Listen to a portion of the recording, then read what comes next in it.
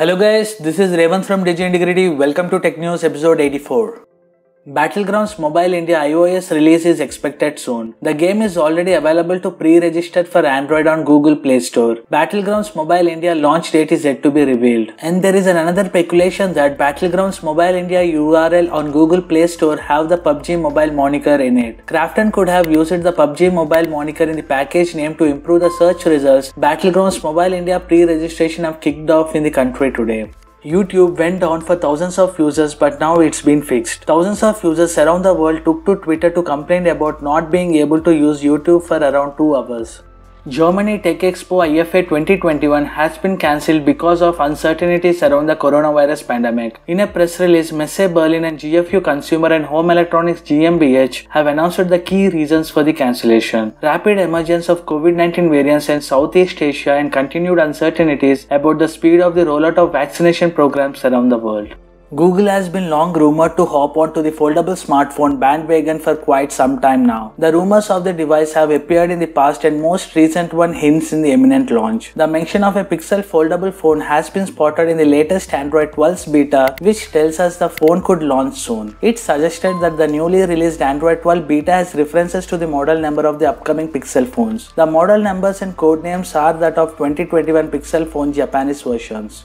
Google unveiled Android 12 beta yesterday and several makers announced that owners of select device will be able to test drive it. The list includes the OnePlus 9 and 9 Pro, but the firmware was pulled almost as fast as it was released after the first users to try it reported that it was caused their phones to boot loop. First off, this is not permanent and there is a way to save the device using a Qualcomm tool that flashes the phone in emergency download mode. This pinned post in the OnePlus forum explains how to roll back to stable Android 11. After the launch of its first M1 chip, Apple is working on expanding its silicon portfolio to power up its future devices. Bloomberg says it has inside info about a new Mac Pro and a higher-end Mac Mini.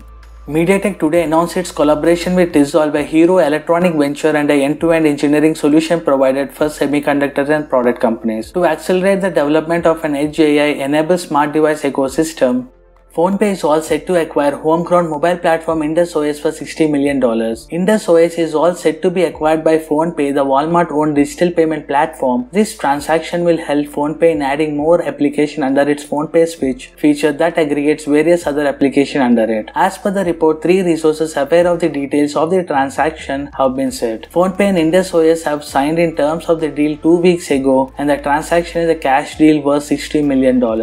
The Oppo K9 might convert into Realme phone in order to get a global launch. The Oppo K9 5G is a somewhat rare new smartphone in 2021 as it has been launched with a lesser spotted Snapdragon 768G processor. It has debuted as a performance focused devices in its OEM native China. However, there are now signs that it may completely change its name, even its brand name, in order to become available outside the country. Samsung has been partnered with the International Olympic Committee for a long time. We have seen a great collaborations in the world of smartphones while the better part of the batch of branded devices went to competing athletes. There were also units for sale in selected markets. Last year we saw the Galaxy S20 Plus get the Olympic treatment with the Tokyo 2020 logo in the back. This year Samsung is trading carefully and it is launching the Galaxy S21 5G Olympic edition but only with the IWOC 5 circle logo on the back. Vodafone Idea offers one-time rupees 49 recharge to low-income users for free amid COVID-19 pandemic. Reliance Jio and Airtel have already announced relief plans for customers in selected segments. This scheme covering 6 crore customers with rupees 49 recharge plan is worth of rupees 294 crore. Vodafone India will provide a rupees 49 pack free to over 60 million low-income customers due to the current situation. The pack offers talk time of rupees 38 and 100 MB data with a validity of 28 days. With this, VI is hopefully of enabling its customer to stay connected safely, the company said in a statement. Thanks for watching this video. Please kindly support my channel by giving a like, share and subscribe and follow Digi Integrity on Twitter, Instagram and Facebook.